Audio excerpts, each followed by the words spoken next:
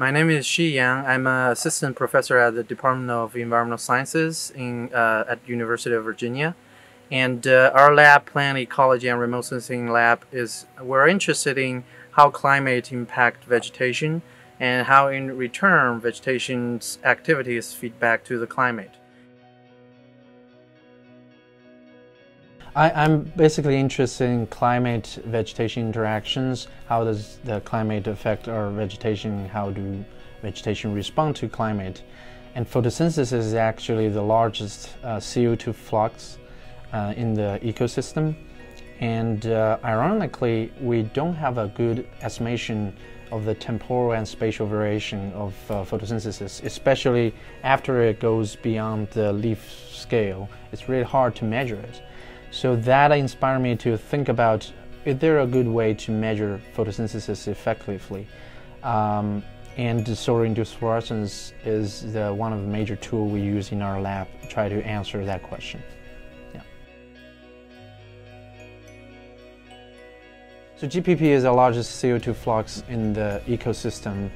By understanding GPP, it can help you to do a lot of things. Farmers can use it to estimate the crop yield, which is a very important thing for them to understand. It can actually affect our ability for weather forecasting. So when plants um, absorb carbon dioxide, water gets emitted from the plant.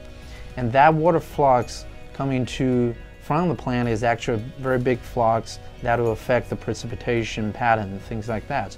And so if we can actually capture the spatial variation of GPP accurately, in the future we have the potential to better um, uh, improve our uh, weather forecasting capacity.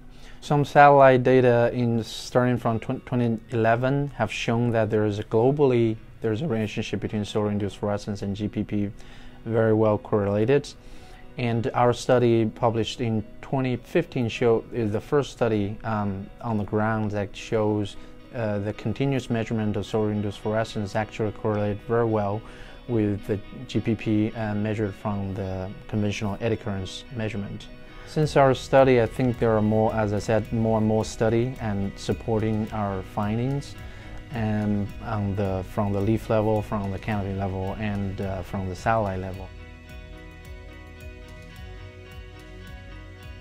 So in our 2015 work, we have shown that the satellite measurement of solar induced fluorescence from satellite called GOME-2 uh, match pretty well with what we measure on the ground.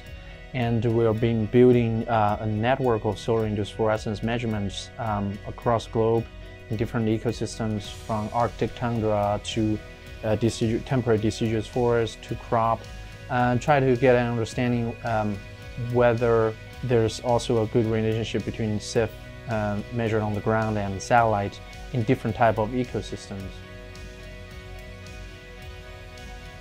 In Europe, there's a satellite mission called FLEX, and uh, European Space Agency is uh, supporting that work. And uh, in the United States, NASA is a major supporter of uh, uh, any satellite and ground-based solar-induced fluorescence related work.